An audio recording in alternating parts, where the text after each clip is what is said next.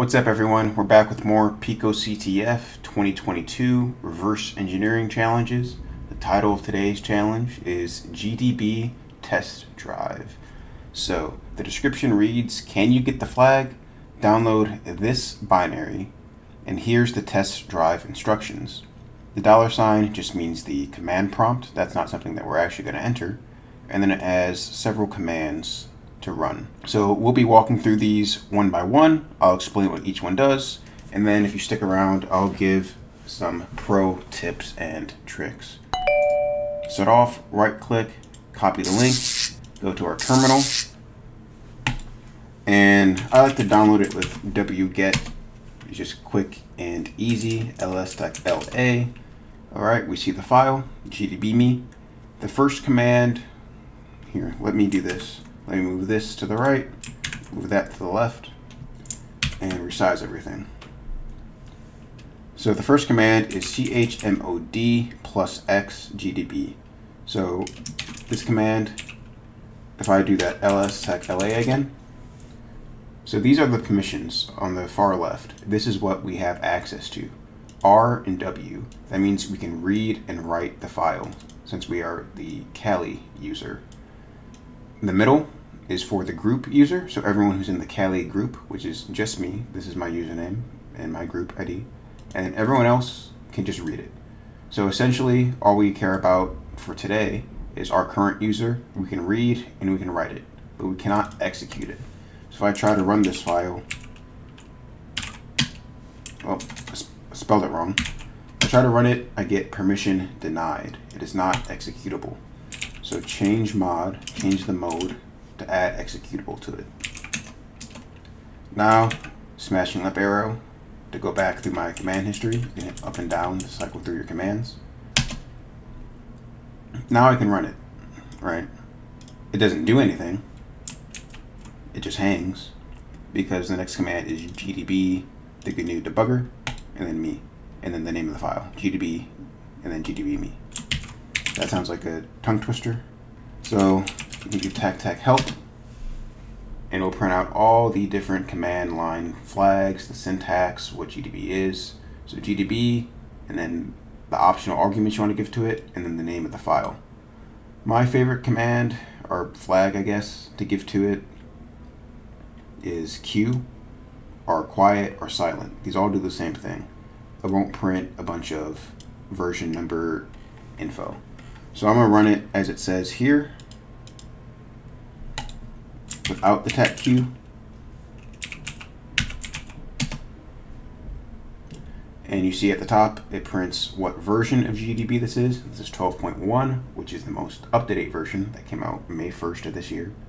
Some copyright information saying this is free software, and then no debugging symbols found. So I don't really like having all this all the time, so I'm gonna quit out of this. Now GDB me tech Q.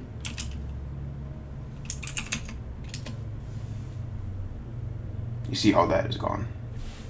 Oh, ran the wrong command. So GDB tech Q, GDB me.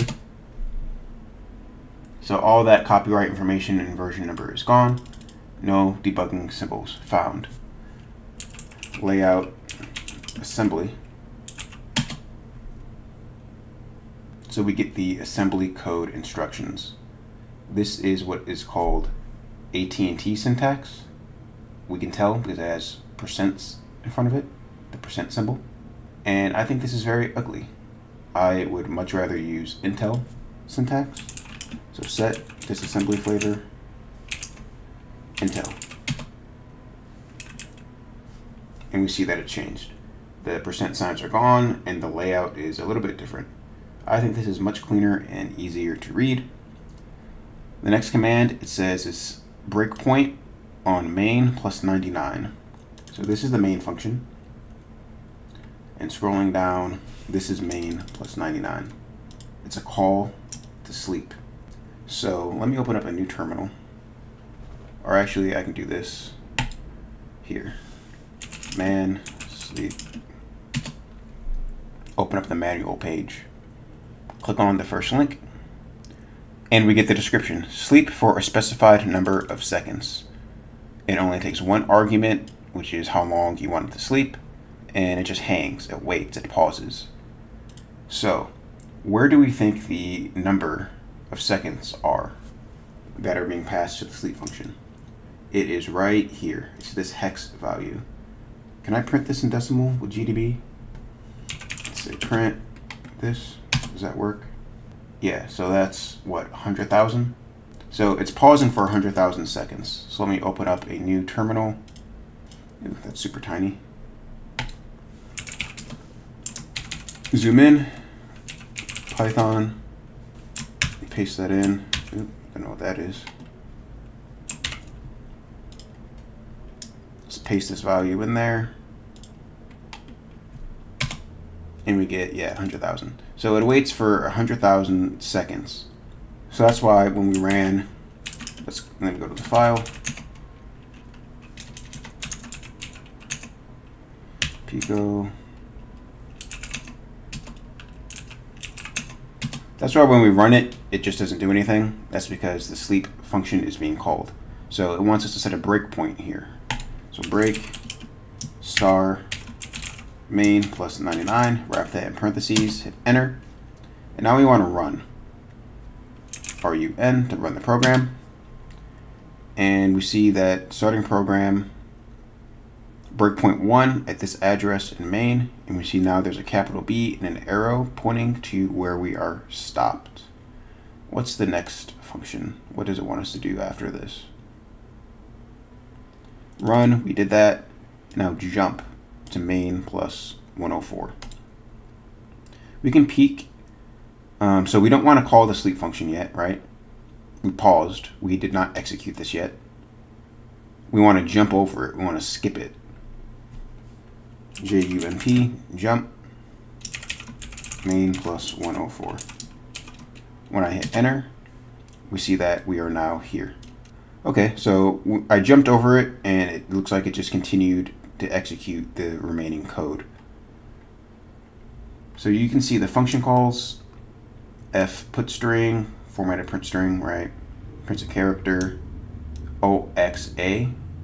That's the hex value for the new line, so it prints a new line, it calls free.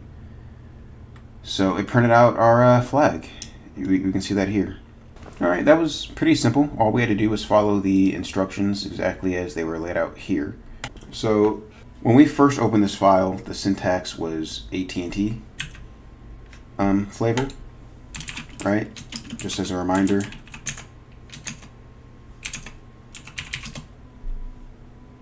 See, just as a reminder, this is AT&T syntax. I prefer Intel, and if you do not want to run set disassembly flavor Intel every single time you open up GDB, you can add it to your GDB init file.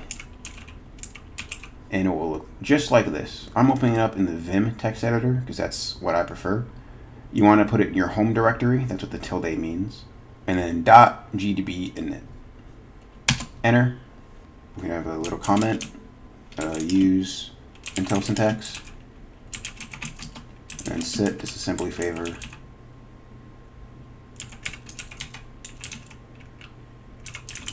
Intel. Save and exit. Now if I were to rerun this, layout ASM. Ooh, interesting.